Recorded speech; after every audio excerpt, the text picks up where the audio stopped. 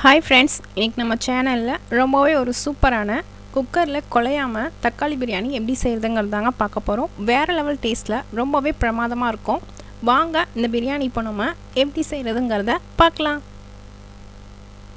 இப்போ அதுக்கு வந்து நம்ம ஒரு குக்கரில் ஒரு ரெண்டுலேருந்து மூணு டேபிள் ஸ்பூன் கிட்ட ஆயில் வந்து நம்ம உள்ளே சேர்த்துக்கலாம். சேர்த்துட்டு இப்போ இதில் ஒரு ரெண்டு பட்டை கிராம்பு ஏலக்காய் அன்னாசிப்பூ பிரிஞ்சி இலை எல்லாமே உள்ளே சேர்த்துட்டு ஒரு ரெண்டு மீடியம் சைஸ் வெங்காயத்தை வந்து நல்லா நீல வாக்கில் கட் பண்ணிவிட்டு அதை வந்து உள்ளே சேர்த்துக்கலாம்.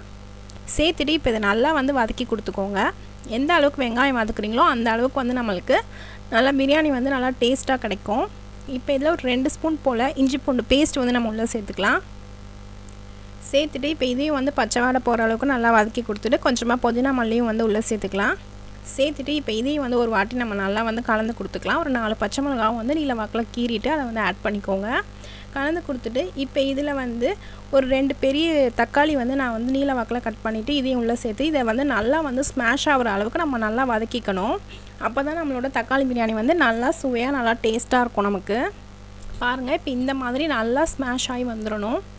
நல்லா வதங்கி வந்ததுக்கப்புறம் ஒரு ரெண்டு ஸ்பூன் போல் கரம் மசாலாவும் ஒரு ரெண்டு ஸ்பூன் போல் மிளகாய் தூளும் வந்து நம்ம உள்ளே சேர்த்துக்கலாம்.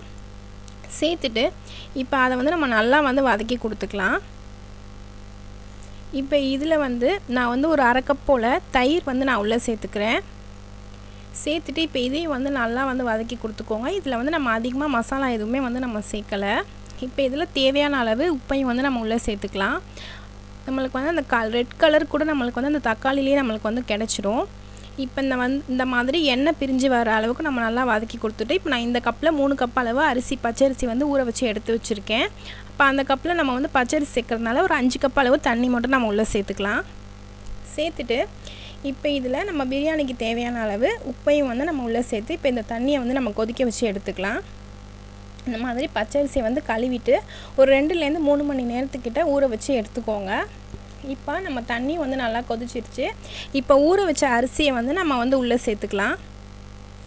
இப்போ இந்த உள்ளே சேர்த்துட்டு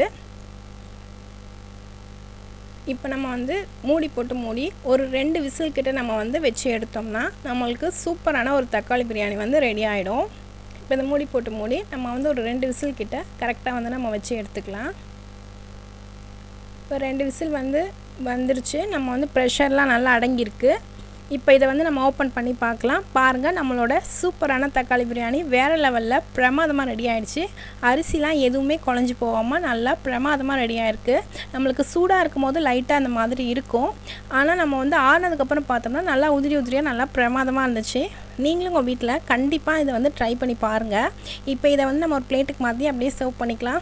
அவ்வளோதான் நம்மளோட சூப்பரான ஆனியன் ரைத்தாவோட ஒரு முட்டையோட நம்ம வந்து பிரியாணி வந்து சாப்பிடும்போது வேறு லெவல் டேஸ்ட்டில் நல்லா பிரமாதமாக இருந்துச்சு. நீங்களும் உங்கள் வீட்டில் கண்டிப்பாக அந்த ரெசிபியை ட்ரை பண்ணி பார்த்துட்டு எப்படி இருந்துச்சுன்னு சொல்லி மறக்காமல் கமெண்ட்டில் சொல்லுங்கள் இந்த ரெசிபி பிடிச்சிருந்தா மறக்காமல் நம்ம சேனலை சப்ஸ்கிரைப் பண்ணி வச்சு பார்த்துக்கோங்க. இதே மாதிரி நான் உங்களை அடுத்தடுத்து ஒரு இன்ட்ரெஸ்டிங்கான ரெசிபியோட நான் உங்களை வந்து பார்க்குறேன். தேங்க்ஸ் ஃபார் வாட்சிங்